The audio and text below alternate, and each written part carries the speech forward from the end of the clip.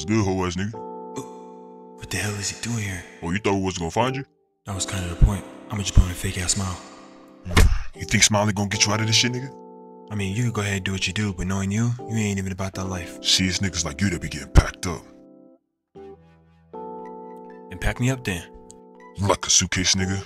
Ayo. Man, fuck this shit.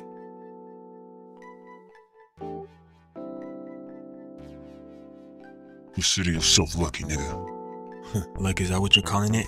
Seems like somebody was just scared. Did you nigga just say I was scared? Yeah, watch this shit then.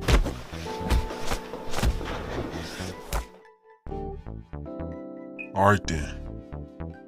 I'm not gonna say it again, nigga. Consider yourself lucky.